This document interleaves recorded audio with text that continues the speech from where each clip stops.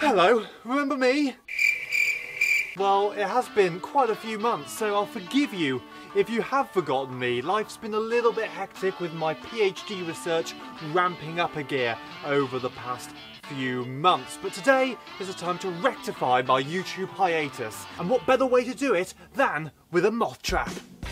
Ah yes, this time two years ago I showed you how to attract moths into your garden using a load of miscellaneous ingredients and a bunch of old socks. Well, I've reached 2,000 subscribers now. I think it's time to up the budget.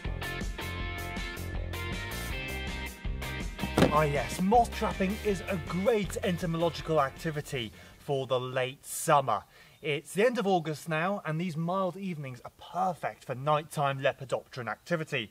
I actually got this trap for Christmas last year, and I've played around with it a little bit, but I'm feeling hopeful that tonight are the perfect conditions for moths. It's going to be a pretty mild night, but before I do any of that, I've got to somehow put it together.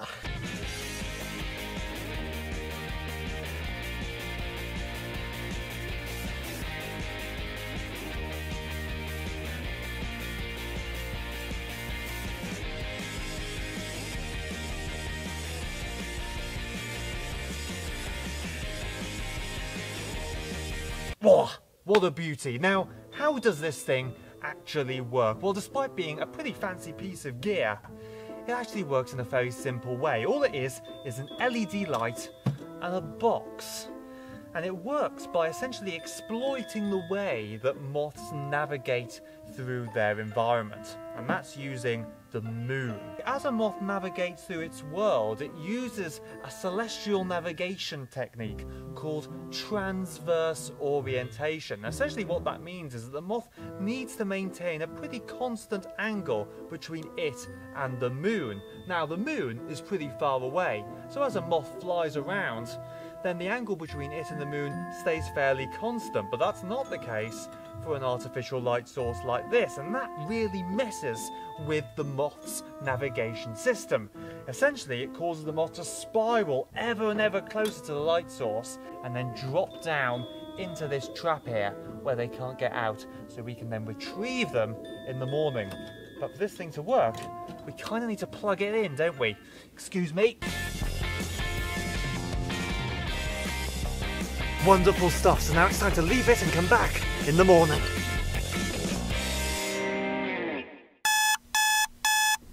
Hello, it's the next morning now and it's time to check the moth trap. I'm not gonna lie, I've overslept a little bit, but that means I'm all the more awake now to do some moth IDing. Now, there are over a thousand species of moth in this country, and I don't know all of them, so I've got my butterfly and moth Bible here, which will hopefully see me through. But first of all, we've kind of got to go on the assumption that we've got some moths, and it rained quite a bit last night, so that's not a certainty.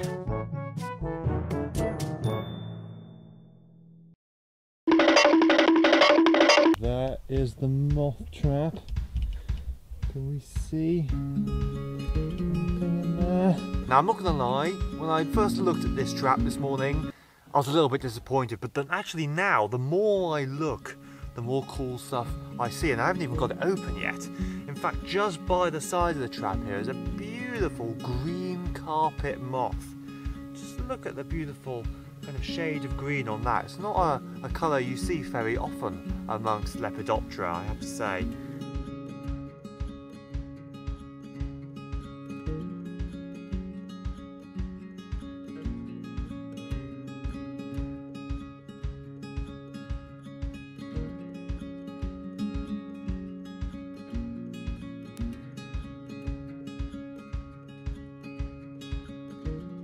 This moth is from a family of moths called the underwing moths.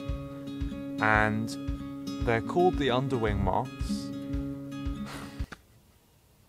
it's gone now. They have these flashy yellow, sometimes orange, sometimes even blue patterns, and they're used to flash at predators when they're disturbed. It's what's known as a deimatic display, a very effective defensive strategy. Now, the incredible startled display of underwing moths haven't evolved to deter creatures like me, a human. The main visual predators of moths are birds. So in order to perhaps increase our chances of seeing the deimatic display of the underwing moth in all its glory, we're kind of going to need a bird predator.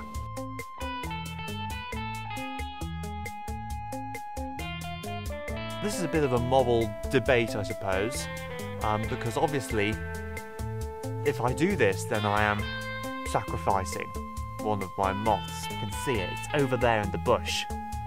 I reckon I can attract its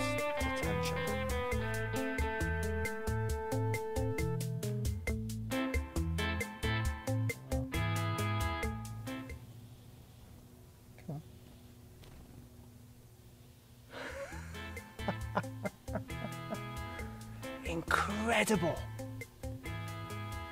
Did you see that? As the robin came down, the underwing moth flashed those deimatic display hind wings. And it completely put the robin off attacking it. Wow. Well, I think proving that the yellow underwing moth's deimatic display truly works was worth setting up that moth trap in the first place. I hope you did too, and if you enjoyed the video, don't forget to subscribe to stay updated with all my wildlife and science adventures. In the meantime, see you next time, folks. Let's get scratching.